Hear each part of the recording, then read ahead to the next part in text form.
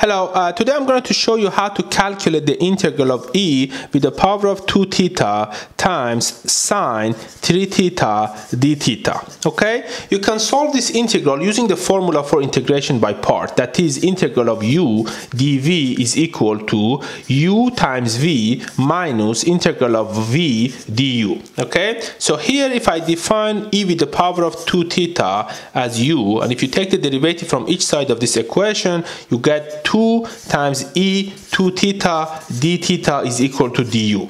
And now you can define sine 3 theta times d theta, this term basically, as dv. Therefore, v will be equal to integral of sine 3 theta d theta, which will be equal to minus 1 divided by 3 um, cosine 3 theta. Okay, if you're not sure how to calculate the integral of sine 3 theta d theta, write for me in the comment section and I will explain for you how to do that. Okay, so now you need to substitute this expression into this formula. So therefore, this integral basically will be equal to uv, that is u, this is v, that will be minus 1 divided by 3 times e with the power of 2 theta times cosine 3 theta minus integral of v du. Okay so this minus times this minus that will be plus 2 times 1 divided by 3 that will be 2 third right? And then e 2 theta e with the power of 2 theta times cosine 3 theta d theta okay? So now you need to calculate this integral. To solve this integral you need to apply this formula for integration by part one more time. Okay? So this integral that is integral of 2 third e with the power of 2 theta cosine 3 theta d theta will be equal to. So here if you define 2 third um, 2 third e with the power of 2 theta as u and if you take the derivative from each side of this equation therefore 4 third e 2 theta d theta will be equal to du. And if you define this term that is cosine 3 theta d theta as dv you can calculate v as the integral of cosine 3 theta d theta which will be equal to 1 divided by 3 sine 3 theta Okay, so now if you substitute this expression into this formula for integration by part, you can write that uh, this integral will be equal to so this integral will be equal to uv, that is u, this is v, therefore uv will be equal to 2 third times 1 third, that will be 2 divided by 9, times e with the power of 2 theta, times sine 3 theta, minus integral of v, that is this, times du, which is this term.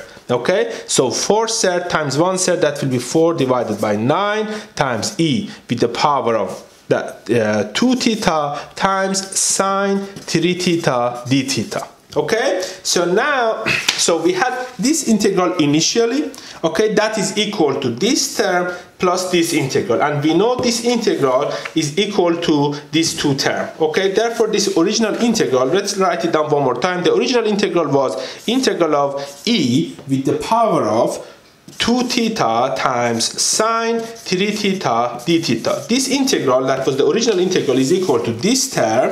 This is minus 1 divided by 3 e with the power of 2 theta cosine 3 theta plus this term. And this integral we know is equal to that. So therefore that will be plus 2 divided by 9 uh, e with the power of 2 theta sine 3 theta minus the last term that is uh, so 4 divided by 9 is constant so I take it out of the integral 4 divided by 9 times integral of e with the power of 2 theta sine 3 theta times uh, times d theta okay? So now you see here this term is the same as this term so I can bring this term basically to the other side of the equation. Okay so I, I, add them up. So that the coefficient here is 1 the coefficient here is 4 divided by 9 therefore the summation will be 13 divided by 9 times the integral of e with the power of 2 theta times sine 3 theta d theta will be equal to this term plus this term. That is minus 1 divided by 3 times e with the power of 2 theta times cosine theta plus 2 divided by 9 e with the power of 2 theta sine 3 theta. Okay? Therefore, this integral, which was the original question, the integral of e with the power of 2 theta times sine 3 theta d theta will be equal to this term times 9 divided by uh, 13. So 9 divided by 13 times minus 1 divided by 3 e with the power of 2 theta cosine 3 theta plus 2 divided by 9 e with the power of 2 theta times sine 3 theta and this is the solution to our integral. I hope you found this video helpful. Uh, if you are interested, please feel free to subscribe to this channel so that you get updated when I upload new videos. Thank you.